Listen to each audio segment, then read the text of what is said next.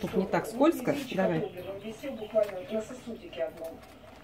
Ребенок, конечно, кричит просто нечеловеческим криком. Вместо обозначенного на карте медпункта рассказывает Вкусно? мама мальчика. Мужчина доставил их к главному корпусу скорой помощи. Ой, вкусно. подчеркнула Людмила. А дежурный администратор, она обработала ногу перекисью водорода и забинтовала, а потом по просьбе матери малыша вызвала такси. Последняя фраза, которую я слышала от этого администратора, когда мы выходили в фойе. Тише, не испугайте людей. То есть вы понимаете, в чем?